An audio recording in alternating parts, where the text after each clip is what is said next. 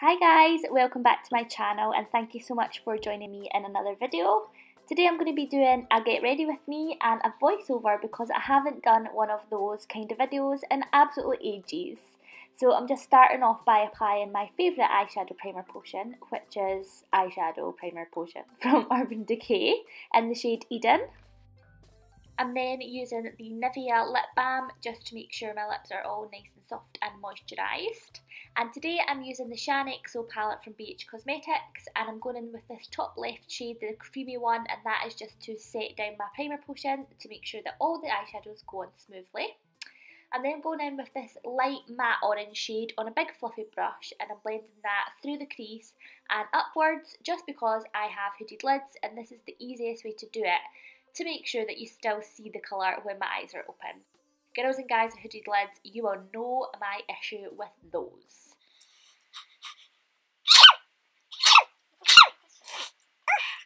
and that was hay fever problems. So now, bottom left shade is this gorgeous dark brownie shade, um, got a little bit of sparkle in it, and I'm going to pop that into the inner corners and the outer corners of the eye and leave the eyelid, the middle of the lid, sorry, completely free because I'm going to do a really soft, subtle um, halo eye today.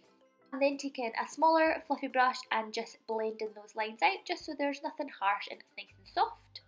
And I'm then going in with a fluffy brush and just reapplying that light orange colour because it got a little bit lost whilst we were blending. So now for the middle of the halo, I'm taking this beautiful creamy white shade and again on that same brush, I'm just going to pop that into the centre of the eye. It's so, so pretty and it really draws the light in. It's a gorgeous shade to do a halo eye with. And now I'm going to add a tiny little bit of this darker colour just on the very, very outs, outs, outskirts, the outer V of the eye. I'm not taking that into the, like the inner bit, um, beside like, oh, what am I even saying? You can see where I'm putting this, people. Now for this rustic orangey shade, I'm taking a little bit of that and blending it through the crease as well, just because I felt like it needed a little bit more depth in the crease. And now for eyeliner, I am taking my Super Cat eyeliner by Soap and Glory and doing a little wing, just as I normally do.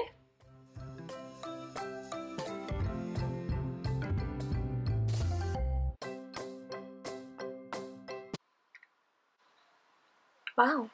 Well done really good. I know, eh?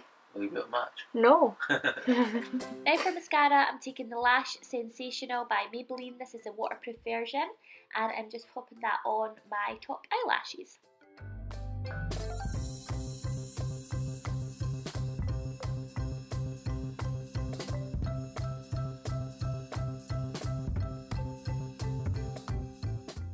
Now for foundation, I'm taking my Rimmel Lasting Finish foundation along with the lightning drops from the Body Shop. I'm just mixing those together on the back of my hand and then dot on a whole load all over my face.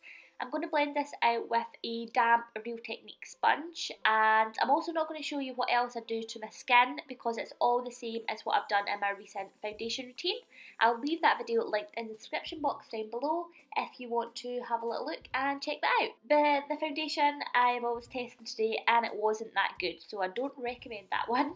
Um, the only thing I did differently from the foundation routine which is linked in the description box is the bronzer. I used my bronzer from the Tanya Burr think it's called the Peachy Glow palette. Um, I really, really like this bronzer. Um, I tried to kind of darken up my foundation with it because I slightly, I made it a bit too light. Um, so it looks a little weird just now, but it does actually work once everything else is on. So I'm also taking the blusher and the highlighter from this palette as well. Um, it's so, so nice. It's like a really nice apricot shade, which goes well with the eyeshadow and the lipstick I'm going to use. And the highlighter is a really nice champagne shade, which is beautiful as well. So I'm just applying that all over my face on the usual places like the cheekbones and the nose and the brows and the lips and everywhere else that you want to glow like an angel.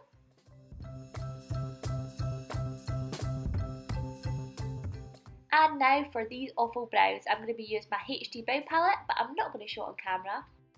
And the magic of eyebrows and editing. now I'm taking this rustic, oh, sneeze. Now I'm taking this Orange shade and I'm popping that under my lower lash line just using a shorter, no, smaller, smaller is the word I was looking for, smaller fluffy brush and that's the only colour I'm putting underneath the lash line. And then I'm adding another little bit of mascara and I'm going to have a sing song because who else doesn't love to sing when they do their makeup? Not that I can sing. Hands up in the comments if you love to sing as well.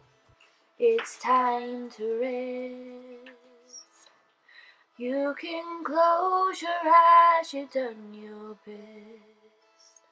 Let me be a safe place to fall. Now I'm going in with lipstick. This is a little lippy from Bare Minerals. I can't remember the shade, but um, I thought it was a little bit more orange than what it turns out. It kind of comes out more reddy. So once it's on and I have a little look in the mirror, I think I'm just going to change it. So I'm using this lipstick from Makeup Revolution. It's the shade Inclination, and I think this kind of like dulls it down and makes it a bit more orange, which is fab. And then I'm attempting to get some setting spray out of this bottle. Come on! Yeah. It's empty. it's empty. For hair, I'm using my Got To Be heat protection. I'm just squishing that all over and then brushing it all through. When you do this, it does make your hair look greasy, but it's not. It's just damp, just in case anybody out there wondered.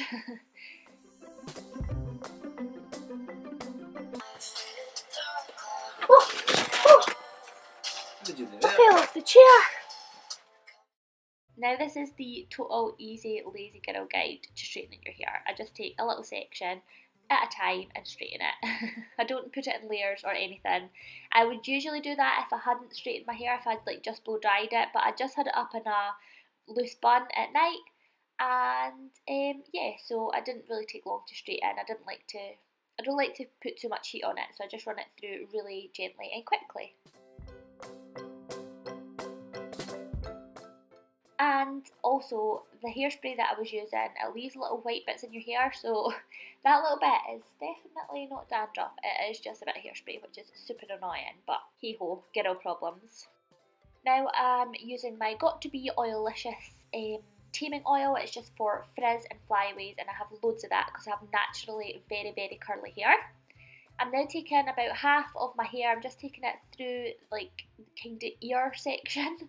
So just running my fingers along the ears to pick up some hair and scraping it back. I'm trying to do this, uh, to be honest, I'm, I can't do hair on camera. It is very, very difficult. I can't explain what I'm doing. I'm not good at doing hair. I just kind of do it what works for me. So I'm using the viewfinder to as a mirror because um, I don't usually do hair on camera. So you can see here, I'm not very good at this, but I'm just putting it in a little bun and scraping some forward and putting a little curby in to keep it there. And now I'm using Got To Be hairspray. I just realised it's all got to be, that is so strange. I do like that range though. Yeah, that's the hair done. These are some shots of my outfit. My um, jumper is from New Look. It's a gorgeous burnt orange colour and my jeans and my shoes are from Primark and my bag is from Radley. So yeah, uh, it was a cute little outfit and I felt cool in the middle of town taking these pictures. So here are some shots of my makeup. I really hope you enjoyed the video. Um, it was weird doing a voiceover, so yeah. anyway, please subscribe and give the video a big thumbs up and I will see you next Sunday with another video. Bye!